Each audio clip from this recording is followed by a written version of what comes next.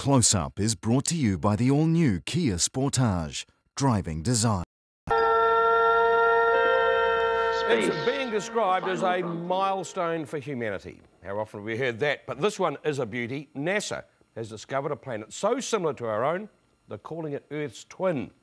But if you've had enough of planet Earth and hoping to catch a ride to destination Kepler 22b, that's what it's called, you're out of luck. It is, after all, 600 light years away.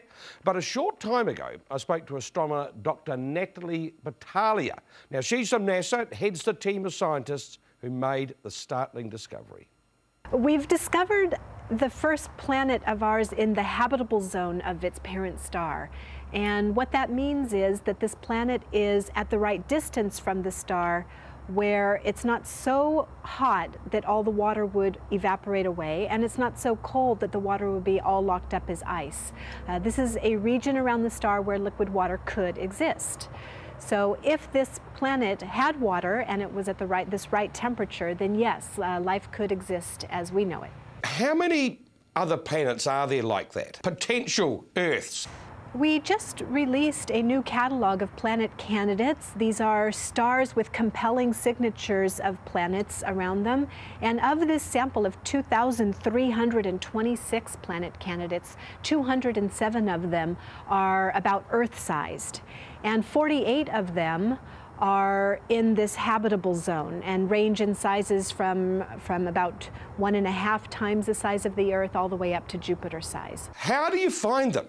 Kepler searches for planets by measuring the brightnesses of stars very, very precisely, looking for the very slight dimmings of light that would occur in a, when a planet in its orbit about the star cross right in front of the telescope and the disk of the star itself, thereby occulting out some of the light.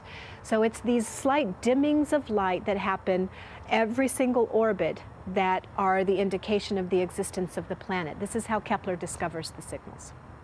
Is this methodical or is there an element of chance? This is very, very methodical. Kepler is taking a brightness measurement of about 150,000 stars once every 30 minutes, of all 150,000 stars simultaneously. And it's doing that for an entire three and a half years so that we can see the repeated dimmings of light, at least three of them, so that we can measure the orbital period, how long it takes the planet to go around once. And, and we need Kepler to do this literally without blinking, otherwise we might miss one of these dimmings of lights and that would preclude us from, from discovering the planet. How far away is this planet? Kepler 22b is about 600 light years away from our own solar system. So do we know if the planet is even still exists? Stars live billions of years. So 600 years, which is the light travel time from this star to our own planet, 600 years is a just the blink of an eye. It's shorter than a blink of an eye in the in the uh, lifetime of a star. So yes, this star still exists. It's a star very much like our own sun. Actually, it's it's very much a sun twin, and the orbit of the planet Kepler 22b is very similar to the uh, orbit of our own Earth.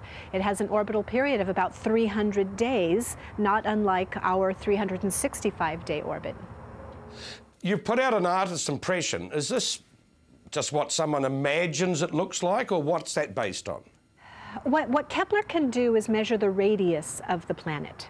So we know that this planet is about 2.4 times the radius of the Earth, so a little more than double uh, the Earth's radius. What we don't know is the mass of Kepler 22b. Um, and the mass combined with the radius is what would tell us something about the composition. If this is something that could potentially be rocky, or if it's a water world, or if it's um, gaseous even, like Jupiter, Saturn, Uranus, and Neptune. Um, the artist's depiction shows this world as being a water world, something that is um, maybe has a rocky core, but is encased, is, is enshrouded in um, an ocean that covers the entire surface.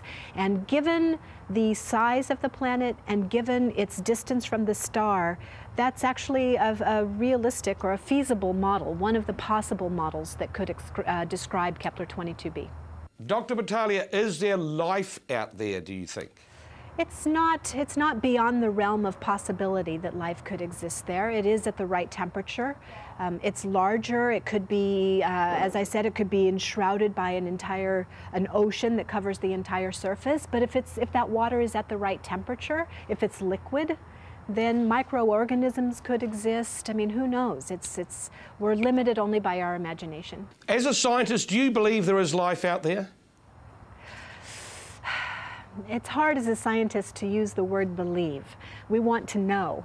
Um, but if I have to speculate, I would say that I'm of the camp that uh, looks at the plurality of worlds, the fact that there are so many stars out there and so many galaxies that it seems like it would be a waste of space not to populate it with a lot of life. It's 600 light years away.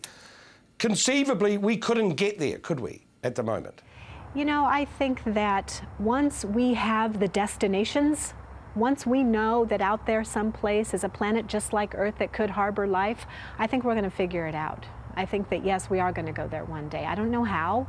Um, you know, there's these restrictions. We can't travel faster than the speed of light, yada, yada. But I tell you, when we have the de destination, everything's going to change. How excited should the world be about this discovery?